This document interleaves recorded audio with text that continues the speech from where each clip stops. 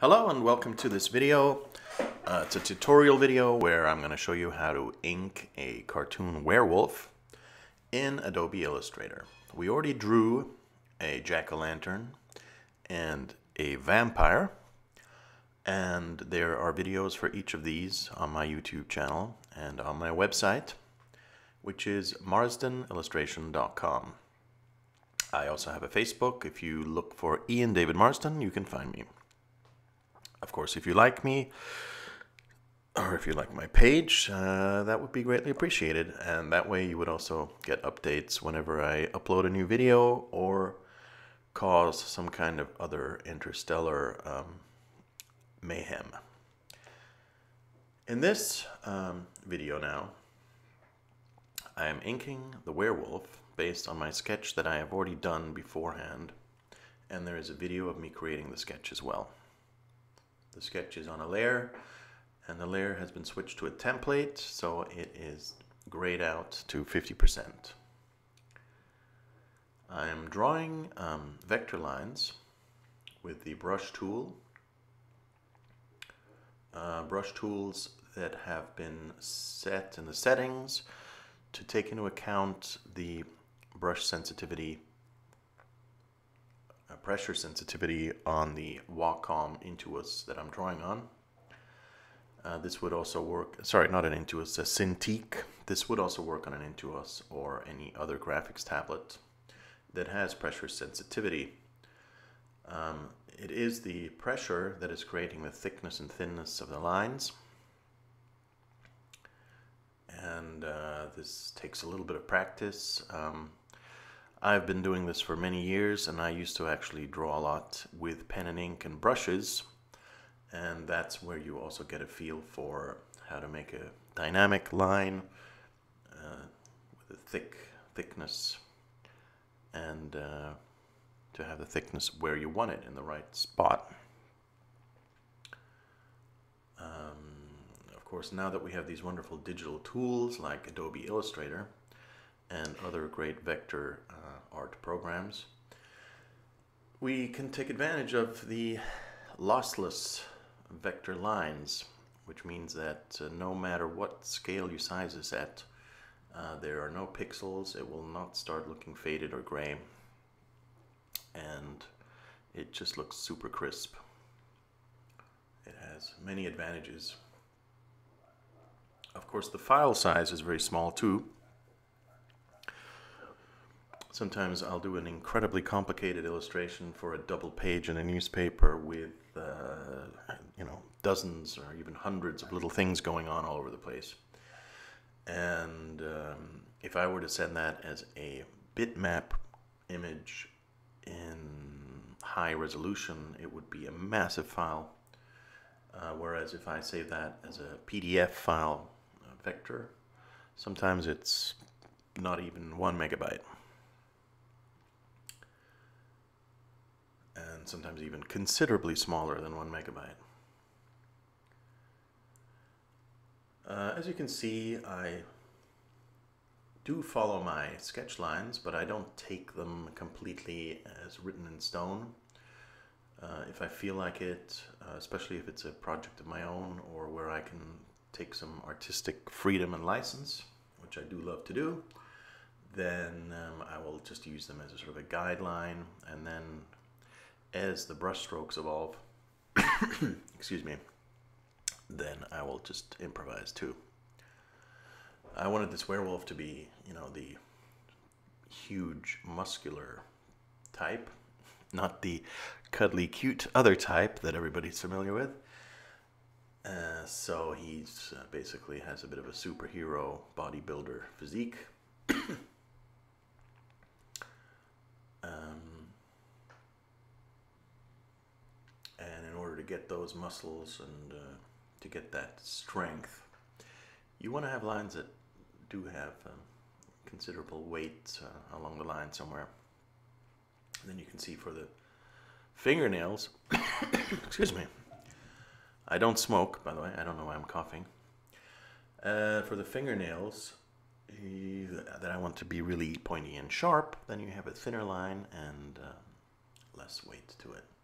I'm alternating my brush strokes. As you can see, my brush palette.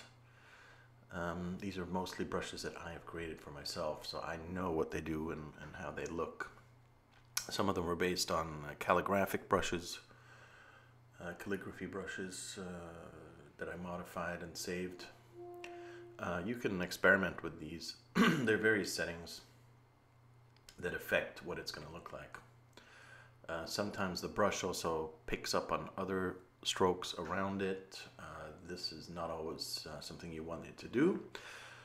There I now selected all the lines, saved them as a symbol so that I still have them if I want them. And then I flattened the symbol. And then I did a little trick that I find quite handy is I created a live paint object and then I expanded that, which basically um, does a path outline,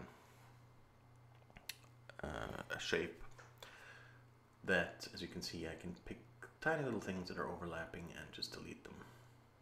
Uh, before I figured out this trick, I used to go with the eraser tool and just select each line and wipe over the areas that were overlapping, which worked perfectly fine too, except sometimes you would cut a little too much and you wouldn't really notice, but this is very clean and a little faster.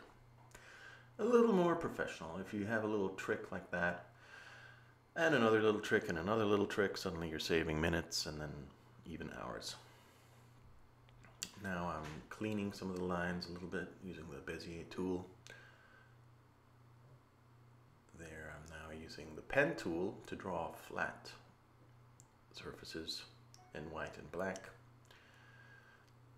Uh, just okay, now we're going to put some detail on the nose.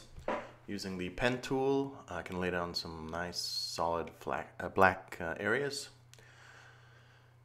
In traditional inking, uh, you would have done this with uh, various sizes of brushes, sable brushes and, and pens.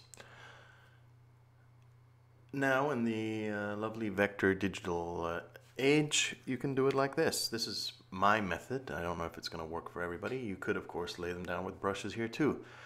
I like to use the pen tool, outline the area, and then just drop in a solid black surface. I think it looks clean and um, it saves a lot of time. I have been using this method for quite a long time, so I already really know pretty much how I want things to look, and I know how they are going to look. Uh, so, you know, uh, it's uh, kind of a trial and error thing, and uh, once you've been doing it for a while, it comes natural. You can change the color of um, the layer that you're working on. For example, here you can see that it's uh, kind of a purple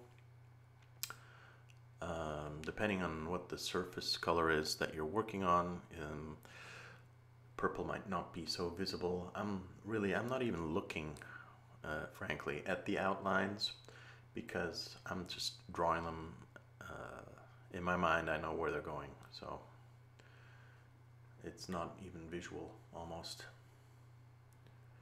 But you can change those settings uh, by double clicking on the layer in Adobe Illustrator. By the way, if uh, you have any questions or anything to any of my tutorial videos, feel free to write a little comment uh, below the YouTube video. I'll be happy to answer them. I might not get to them right away, but I will get to them eventually. Uh, another way to get in touch with me is to find my Facebook page. Uh, look for Ian David Marsden.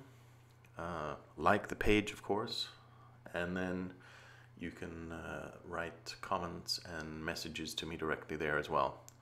I'm relatively active on there, so I will get your message. I'm talking about uh, questions regarding drawing and art in, in the widest term, not uh, you know any home improvement or you know car repair questions Mainly also because I don't know anything about that, and you really would not want to ask me. Thanks for watching, and see you soon.